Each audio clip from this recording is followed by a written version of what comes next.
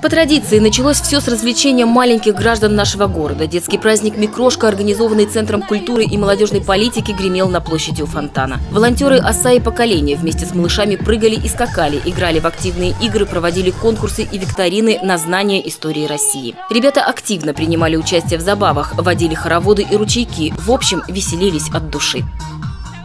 Хорошо, очень нравится.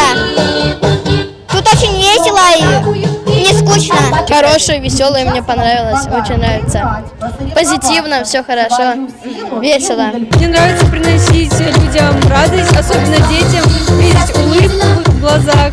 Ну, вообще весело с ними веселиться, как бы окунуться в детство тоже вместе с ними интересно. Вы вместе с ребенком, смотрю, участвуете. Как вам вообще праздник? Отлично, настроение позитивное, все радостные, веселые, все классно очень.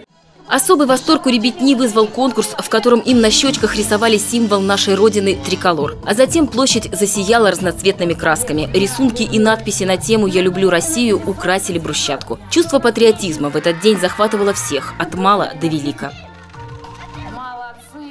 Я рада за свою страну, что у нас это хорошо, да? это самое, Путин у нас хороший мужик, так что это все хорошо. Самое главное это то, что мы все вместе.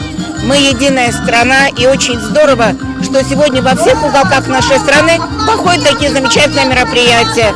Здорово, да, здравствует Россия! Я в этот день чувствую гордость за свою страну.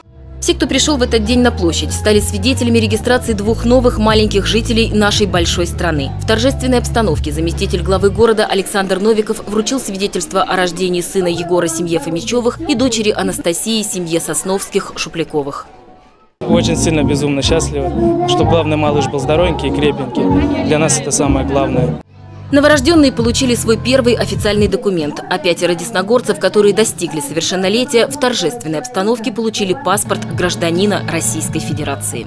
Это очень круто на самом деле получить паспорт, потому что ты чувствуешь себя уже совсем взрослым и понимаешь, что теперь ты как бы можешь быть наказуем законом.